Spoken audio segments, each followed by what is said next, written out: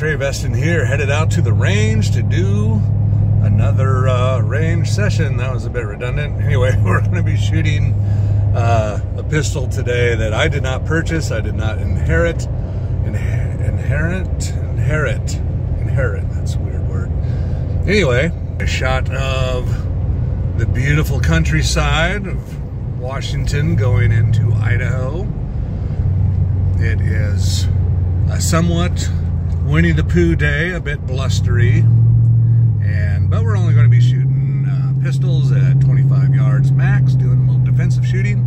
And this pistol is one that's unique because uh, I didn't buy it. It was uh, a relative of mine purchased it for his significant other, and he has just had not enough time to properly evaluate the, the pistol or shoot it, so he gave it to me kind of as is. Uh, it's already been unboxed. I know very little about it. He gave me a bag of ammo. He has not disclosed what type of ammo it is. Um, it looks like there's some blazers mixed in there. It's all 9 millimeters, so I'm going to shoot it. It's a Ruger Max 9, and it came equipped from the factory at the Crimson Trace. Think it's the DT 1550 optic, I believe. Um, looked it up on Amazon, and it retails for approximately 100, oh, what was it? 116 bucks, which seems like pretty, pretty cheap for an optic from a, uh, a name brand. So, alrighty, pulling up to Highway 95 here, and it's a uh, busy Sunday. Okay. We can edit all this out in post production, which is what us YouTubers like to call when we snip out all the embarrassing things. All right, need to do another video on this uh, this Tundra. I've been doing some mods on it. It's freaking awesome. Sounds great. Alrighty, so back to the pistol. It's a Ruger Max 9 and uh, yeah, we'll take a look at it, do some close-ups. Fit and finish is on par for Ruger lately, which is about Taurus level. I know a lot of Ruger purists really get upset, but that's reality. Ruger semi-autos just are not, they don't have good fit and finish. They're, they work, uh, usually, and if they don't, Ruger is more than happy to take care of you. I, anyway, what we're going to do today is shoot it side by side with my P365 and a Glock 19, do some accuracy testing, because nobody on the internet does accuracy testing of these little pistols.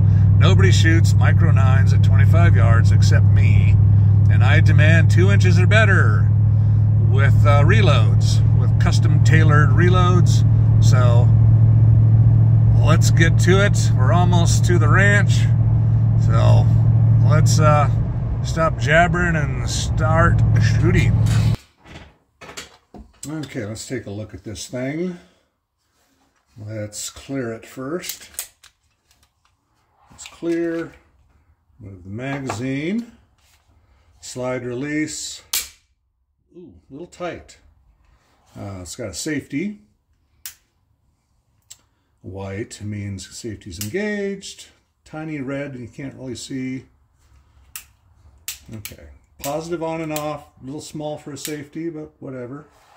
Uh, factory night sight and fiber optic. So we're good to go there. Okay, Crimson Trace says it is a 3 MOA. You can see that. Probably not. Let's see if we can't get some light on the situation here. The old range. There we go. That's much better. Okay, and a warning, pistol will fire with magazine removed. Okay, we've cleared it. Trigger. A little bit of take up. Not too mushy, not bad. Okay, let's see what the old uh, trigger gauge says. Okay.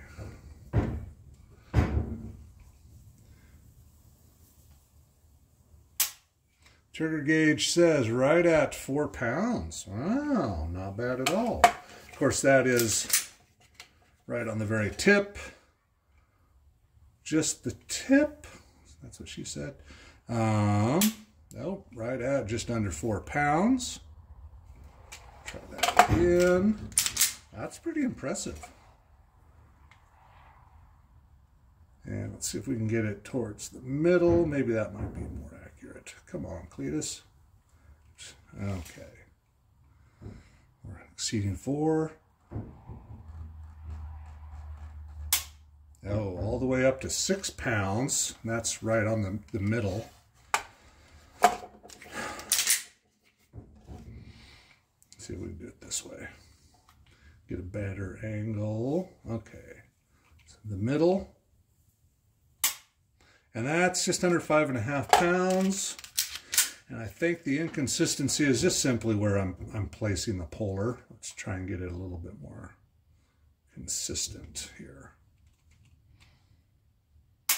Yeah, five and a half. Okay, it's not bad. Let's uh, compare that to a G19. Clear that, magazine clear. Okay.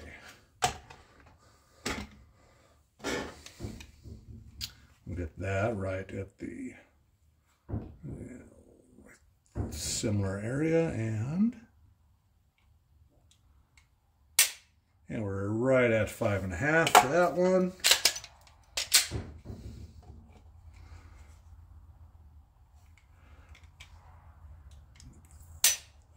Yeah, five and a quarter. And the trigger on this, there's a little take up little little yeah little creep and then mush yeah. The Ruger trigger feels way better than a G19 trigger. And I think this trigger is pretty much stock. Um, come on let's get another pull for our three pulls and yeah five and a quarter. So not bad for Glock trigger. Um, but still not a great trigger, you know, typical of Glocks. And the P365, the current carry pistol. And this one is my carry configuration. Clear that. Okay, safety off. And no trigger safety on this, so we can get it right perfectly in the middle if we'd like. And we are pulling over five, five and a half. Oh, six and a half. That's not bueno. And there's like hardly any, well, there's, there's, okay, there's take up and then the creep, not much creep at all. And then it's crisp, but it doesn't feel like six and a half pounds. Yeah, let's try again. Okay, that's right at six pounds on that one. Make sure we're consistently the same spot. And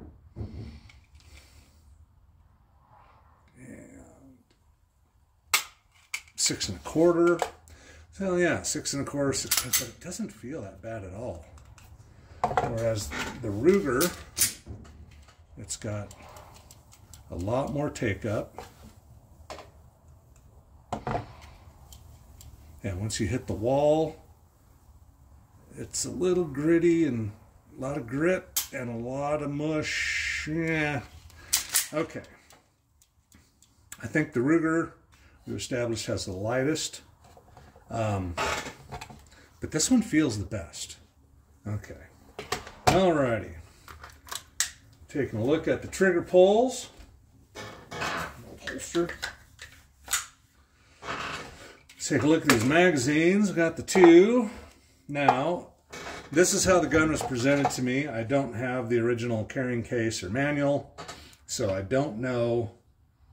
From I've watched a couple videos and it looks like this is an optional thing. It's usually there's a flat base plate for the magazine.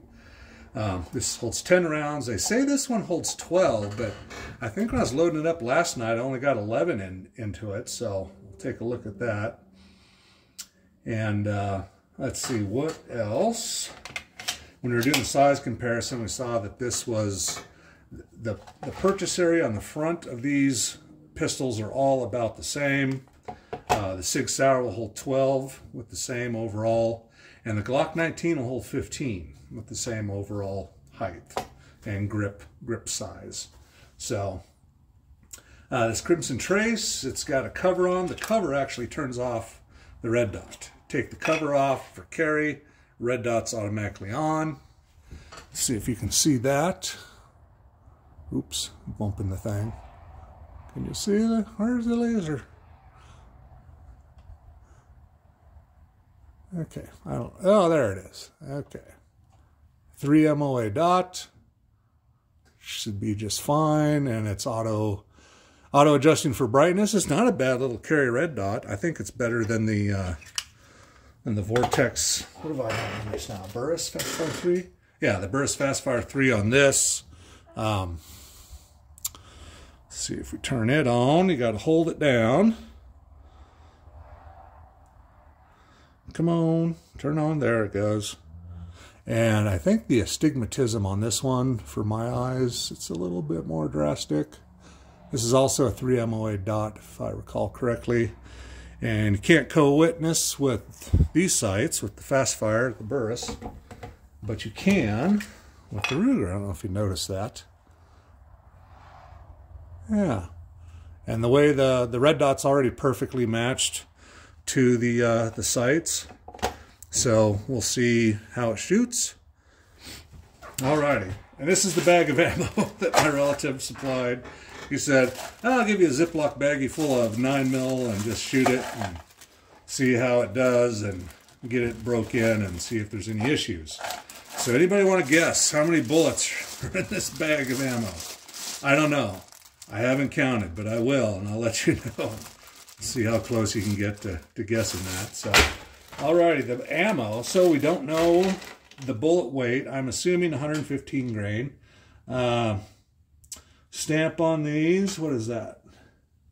Speer, 9mm Luger. Speer ammo. And then I think I saw some blazers.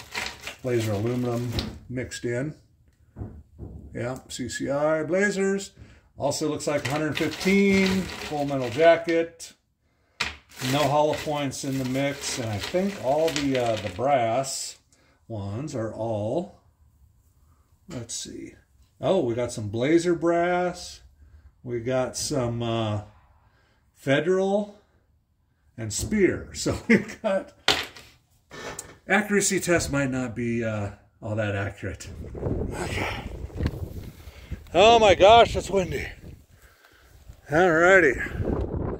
At the target, everything's green and beautiful except it's windy as heck. Okay, the Ruger.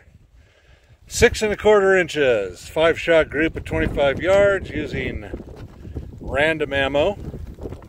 The original 12 shots we did came in at nine and five eighths, and that was just getting the red dot adjusted. So I tightened that up a little bit but no, no malfunctions. The Glock, the most accurate pistol, uh, five and a quarter with the target blowing around in the wind. And the SIG was the worst at seven inches and the only one without a red dot. So, yeah, there you go.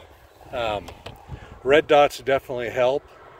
I was surprised that the Glock only did five and a quarter uh, so the Ruger's not bad. It's it's in the ballpark. It's at 25 yards with not ideal ammo.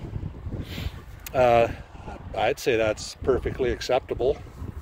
So, alrighty, next, let's uh, see how fast we can shoot each pistol and uh, see how the accuracy is. Just point shooting, see how they feel. Alrighty. Okay we're just going to, because we don't have holsters for all these, we're going to start at low ready. Fire five rounds fast as possible. First up, Sig Sauer P365. And we'll just see how accurate they are and how fast we can do the, the five rounds. Just kind of get a feel for how they do. So, alrighty. Already. Five rounds. Yeah, not bad. Clear.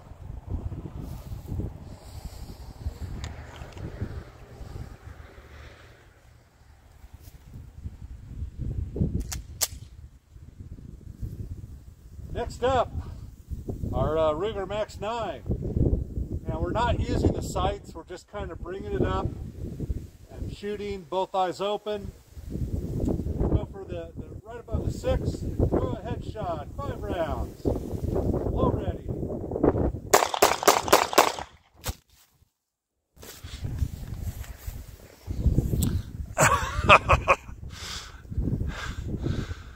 it's so windy.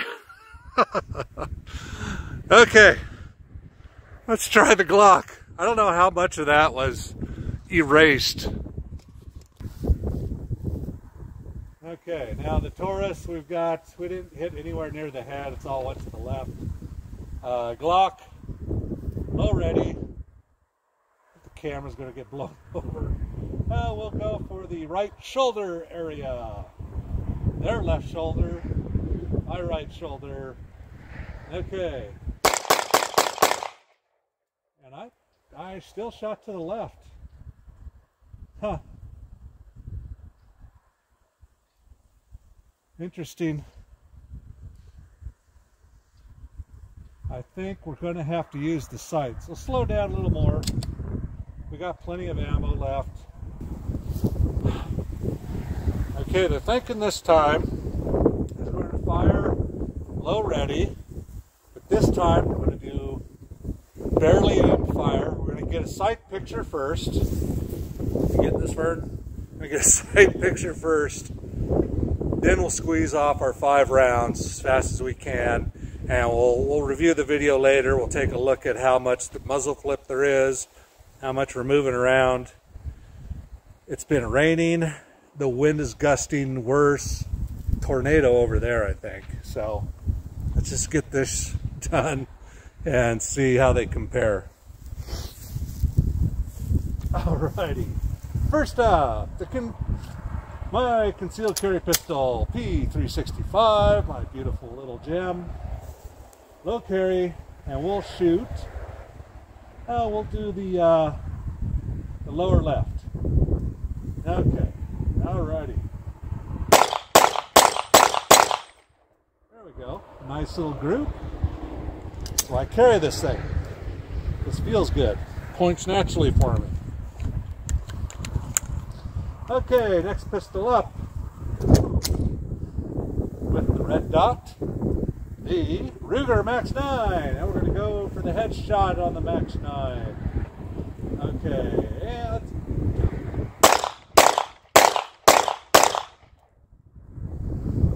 It's hard chasing that red dot. I'm not used to shooting with the red dot The pistol seems to jump more. It seems to,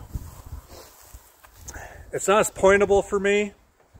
And it feels like it's jumping around and the red dot disappears right away. I don't know. Maybe it's my grip. I don't have a lot of formal training, or if I did, it was decades ago in the academy. So, alrighty.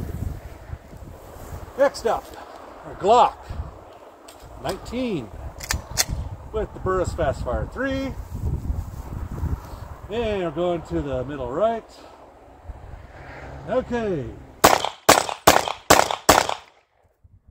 Alrighty. That Glock 19 felt obviously more control. Got a lot, lot bigger handgun. Red dot, it seemed to point more natural to me, which if I'm not carrying the P365, I'm carrying a Gen 3 G23 because they just feel great. So let's take a look at those groups and we'll review the video and see which is the best for, I guess, just shooting up close and fast. Okay. First up is my preferred carry pistol. That was the, uh, the SIG. And we got a two and a quarter inch group that, no wait, you know, I just, I saw a flyer. Hold the presses. Okay, that opened it up to a five inch, not two and a quarter. So five inches, not bad. Shot a little to the left. Next up, we did the Ruger. Came in at eight inches, uh, but it was mostly centered, not too bad, little low, but that's with the, the red dot. And then the G19 was seven inches and centered but low, also with the red dot. So interesting, the two red dot targets are similar in group sizes. One's more uh, horizontal, one's more vertical, seven inches, eight inches. Um, point, uh, the little SIG, best group, five inches, uh, a little to the left. But yeah, that's, and I'm stupidly fast shooting at metal rods, so I'm getting spatter coming back. You can see that one too, but alrighty.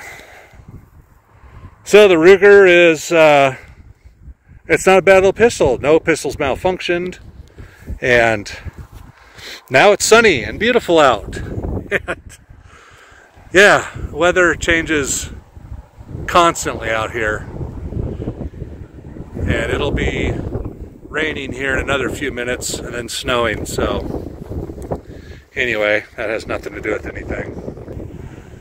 Alrighty, Trey Veston, uh, think we can conclude that the Ruger is a good little pistol, and I want to mention that the fit and finish on it, I looked at one when they, they first came out, and it already had some some uh, chips in the finish on the, the counter, the, the counter display model, and so I was not very impressed. This one has um, the fit and finish, it, it's better. There were no deficiencies. Uh, it's still not as nice as the, the SIG or the, the Glock, but I think for under 400 bucks, and it comes with an optic minus that $116 optic you're looking at you know Taurus level prices with a little higher than Taurus level quality. So yeah I think uh, this little pistol will be a, a good little carry gun for someone. And uh, yeah I'm gonna I wanted to shoot some of my rifles but the weather's so bad, the wind's so bad, there's no point trying to shoot at 100 yards today. So, alrighty. Hope everybody's enjoying better weather than we are out here. And uh, Trey out.